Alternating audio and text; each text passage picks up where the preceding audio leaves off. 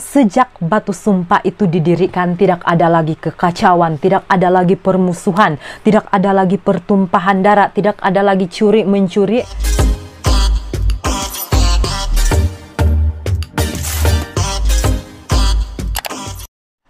Oke, okay, halo sahabat, bertemu lagi bersama dengan saya Ernestine Official dan pada kali ini apa yang saya ingin kongsikan kepada kamu seperti di dalam tajuk Sejarah Batu Sumpah, Batu Hidup Kimanis.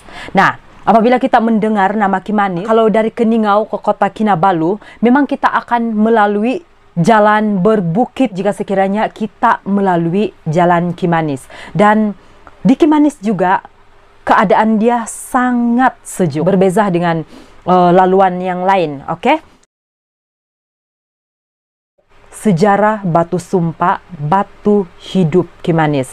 Nah, bagi kita generasi baru, mungkin ada di antara kita yang langsung tidak tahu tentang kewujudan batu sumpah, batu hidup di Kimanis. Secara pribadi, saya sendiri setelah hampir 27 tahun saya hidup di dunia, baru beberapa hari yang lalu saya tahu tentang batu sumpah, batu hidup di Kimanis. Saya sangat tertarik untuk berkongsi kepada kamu. Ini benar-benar terbukti. Mungkin kita sering kali dengar, oh di sana ada batu sumpah, di sana ada batu sumpah, di sana ada batu sumpah. Tapi kita tidak pernah mengetahui macam mana cerita sebenar dia. Oke, okay. dan bagi kamu, bagi kita generasi baru, mungkin kamu malas untuk baca sejarah, sejarah daripada Uh, batu-batu uh, sumpah sebab sebenarnya sangat banyak batu sumpah batu sumpah batu hidup Kimanis. Uh, ini yang harus kita semua ketahui sebagai rakyat di Sabah. Okay, macam mana sejarah batu sumpah, batu hidup di Kimanis ini wujud? Oke, okay.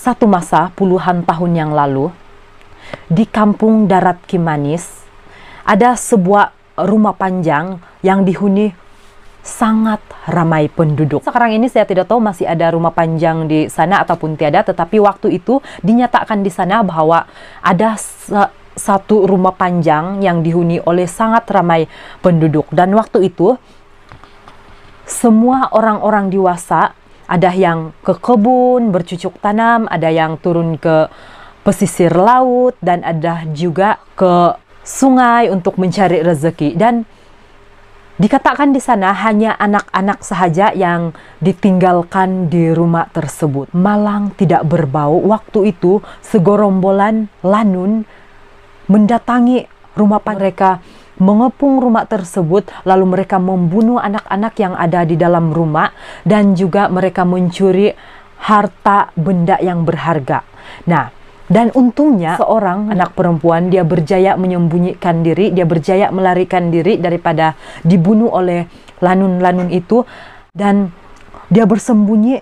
Sementara itu lanun-lanun itu mungkin mencuri itu ini, dia bunuh anak-anak itu ini tetapi dia hanya mendiamkan diri. Dan dia menunggu sehingga lanun itu beredar dari rumah panjang tersebut. Setelah lanun-lanun itu pergi ataupun setelah dorang melarikan diri dari tempat itu, anak perempuan yang berjaya menyembunyikan diri, dia segera berlari mendapatkan Datu Penghulu Darat Kimanis. Dia melaporkan apa yang baru saja berlaku di rumah panjang.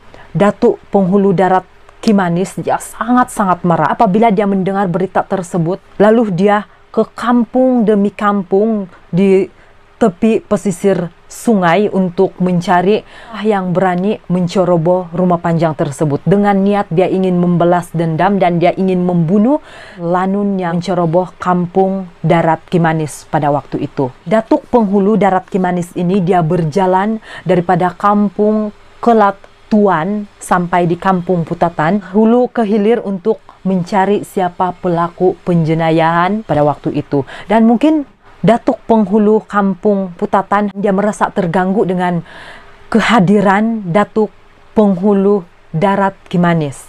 Sebab dia merasa kampung Putatan tersebut tidak ada orang jahat. Jadi si Datuk penghulu kampung Putatan ini dia mengarahkan tiga orang pemuda untuk mencari Datuk penghulu darat Kimanis dengan tujuan untuk membunuh beliau bah karena dia merasa terganggu dengan keadaan tersebut. Dan setelah tiga orang pemuda berjumpa dengan Datuk Penghulu Darat Kimanis. Mereka beradu tenaga dan Datuk Penghulu Kimanis dia berjaya mengalahkan tiga orang pemuda tersebut tanpa mencederahkan mereka. Datuk Penghulu Darat Kimanis ini dia berpesan kepada tiga orang pemuda ini untuk memberitahukan kepada Datuk Penghulu Kampung Putatan agar mengadakan perdamaian. Ketiga pemuda tersebut menemui Datuk Penghulu Putatan, mereka memberitahukan bahwa Datuk Penghulu Darat Kimanis ini ingin mengadakan satu perdamaian. Jadi si Datuk Penghulu Kampung Putatan dorang buat perjanjian bila masa dorang mengadakan pertemuan dan setelah tiba hari pertemuan mereka bersetuju untuk saling berdamai dengan satu syarat Datuk Penghulu Darat Kimanis, dia meminta agar pada hari mereka angkat sumpah, Datuk Penghulu Kampung Putatan harus membawa bongka batu sebagai tanda perdamaian antara kampung tersebut. Jadi setibanya hari yang telah dijanjikan yaitu hari perdamaian bagi mereka, Datuk Penghulu Kampung Putatan dia telah membawa rombongannya untuk datang ke kampung Darat Kimanis bagi tujuan mengadakan perdamaian. Mereka membawa sebongkah batu. Dikatakan di sana ukuran dia satu peluk orang satu pelukan um, orang dewasa dan tinggi dia sekitar 180 cm. Macam mana cara diorang bawa batu tersebut ke kampung darat Kimanis? Mereka telah meletakkan batu di sebuah perahu, orang jalan laut untuk sampai di kampung darat Kimanis. Nah, batu itu dorang hias, dorang, dorang balut dengan kain bercorak sebagai tanda penghargaan dan juga perdamaian. Perjanjian tersebut ataupun perdamaian tersebut merangkumi kampung-kampung yang ada di sekitar pesisir sungai. Nah, ketika mereka sampai di kampung Darat Kimanis, batu itu telah ditarik ditarik oleh seekor kerbau yang sangat gagah perkasa dinamakan gendang perang. Nah, baru kita dengar nama tuh kerbau memang sangat gagah. Gendang perang nama dia. Nah, kerbau itu yang telah membawa batu sumpah itu ke tempat di mana mereka mengadakan satu sumpah, satu perjanjian bahwa setelah ini tidak ada lagi kacau mengacau, tidak ada lagi pertumpahan darah, tidak ada lagi um, pergaduhan antara mereka.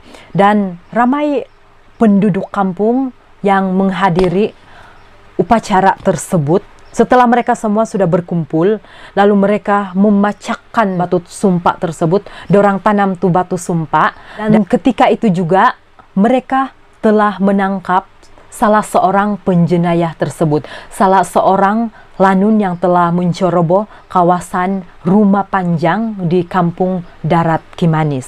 Jadi, apa yang mereka lakukan di sana? Mereka telah mengikatkan orang tersebut pada batu sumpah. Batu sumpah pada waktu itu harus dimandikan dengan darah orang berdosa ataupun orang yang telah melakukan kejahatan. Dan disebabkan si penjenayah itu sudah diikat pada batu sumpah perjanjian mereka adalah jika sekiranya ada yang melakukan kekacauan, mereka akan diikatkan pada batu itu.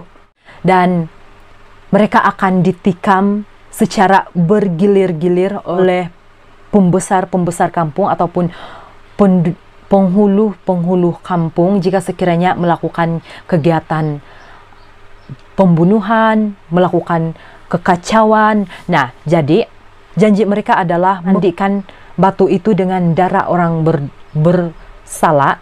Jadi Datuk Penghulu Darat Kimanis dia mengeluarkan kerisnya lalu dia menikam orang yang diikat pada batu sumpah tersebut. Setelah dia menikam, lalu diikuti oleh Datuk Penghulu Kampung Putatan, penghulu-penghulu yang lain, kemudian orang-orang yang gagah pada waktu itu sehinggalah orang tuh mati dan di sana sudah terbukti bahwa batu perdamaian mereka itu sudah dimandikan darah. So, mungkin itu menjadi pengajaran kepada mereka jika sekiranya mereka melakukan kegiatan kacau mengacau, bunuh membunuh, serta mencerobos sebuah kawasan, mereka akan ditikam sehingga mati.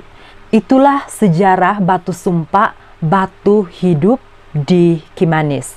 Nah, sehingga sekarang ini kalau kamu mendatangi kampung, kampung tersebut, kampung Brunei, kalau kamu datang di sana, Eh, saya tidak pasti kampung apa sudah tuh. Kalau kamu datang di kampung tersebut, batu itu masih ada, masih kukuh berdiri. Jika sekiranya kamu ingin tahu ataupun kamu ingin melihat secara langsung batu sumpah, batu hidup, kamu datanglah di kampung ataupun apa apa kampung itu. Kalau kamu tahu di mana tuh kampung tuh, kampung Brunei, Brunei Kimanis kah?